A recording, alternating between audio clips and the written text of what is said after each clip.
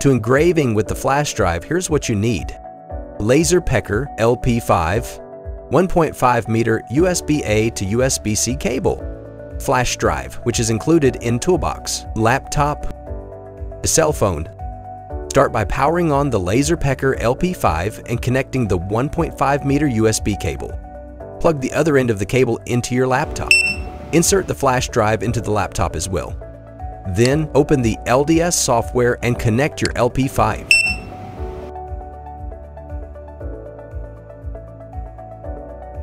Navigate to the left panel and choose your desired shape.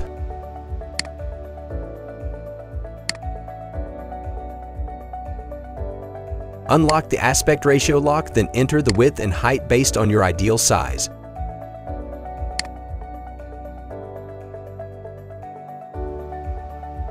Once done, lock the ratio again to maintain proportions. Head over to the Laser Engraving Settings panel. Underline section, set up the laser source and pass for the test array.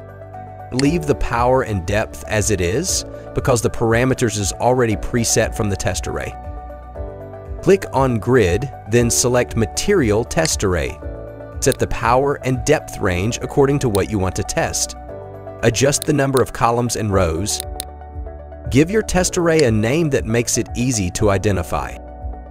Set the spacing between each element in the array. Once everything is set, click OK. Click on the test array and choose Ungroup. Select the text labels and adjust their size if needed. Then select the entire design and group everything back together. Head over to the Laser Engraving Settings panel. Under the Fill section, adjust the settings for all the text elements in the array. Resize the test array to fit your material. Finally, use the center function to align the file properly on the canvas. Once everything is ready, go to the File menu and export your design as an LPB file. A confirmation window will pop up once the export is complete. Save the file to the LaserPecker Files folder and give it a name you'll remember.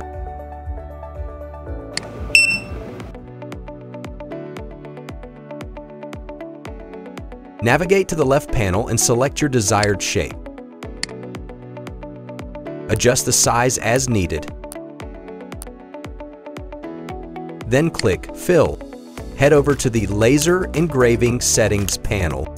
Under the Fill section, adjust the settings for the test array include all the text elements in the array.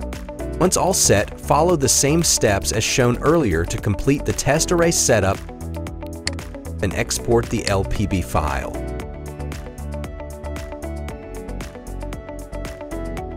Import the photo you want to test. Go to the Effect panel and switch the mode to dithering. If you're engraving on dark materials or metal, make sure to invert the photo first. Set up the size, then go to Laser Engraving Settings panel. Under the Pictures section, set the resolution, choose the laser source, and adjust the pass count. These settings will directly affect how the photo is engraved.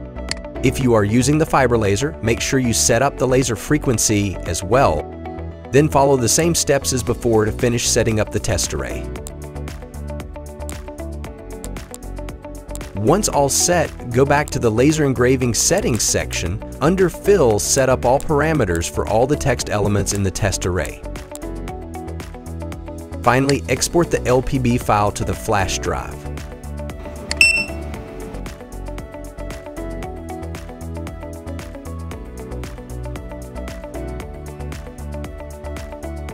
Insert the flash drive into the back of the LP5. In the LDS software, go to the left panel and click the flash drive icon. Choose your file and preview it. Place your material according to the preview box and adjust the focal distance as needed. Once everything is set, start the engraving process.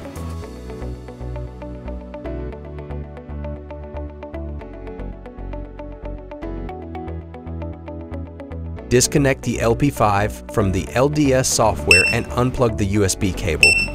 Insert the flash drive into the back of the LP5. Open the LDS mobile app and connect to your LP5. Tap User, then select USB flash drive files. Scroll through the list to find your file and tap the eye icon to preview it. Position your material based on the preview box. Adjust the focal distance as needed. When you're ready, tap Next to begin the engraving process.